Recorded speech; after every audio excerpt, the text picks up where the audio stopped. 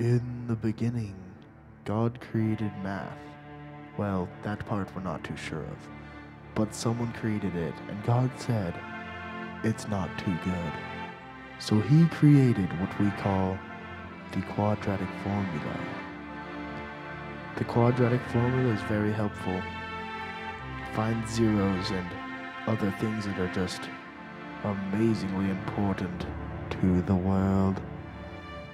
Now let us sing you a song that will help you remember this amazing formula.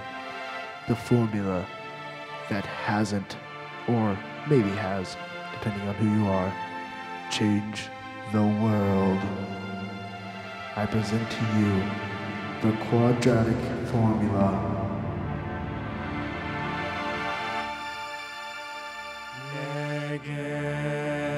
Negative b plus or minus the square root of b squared minus 4ac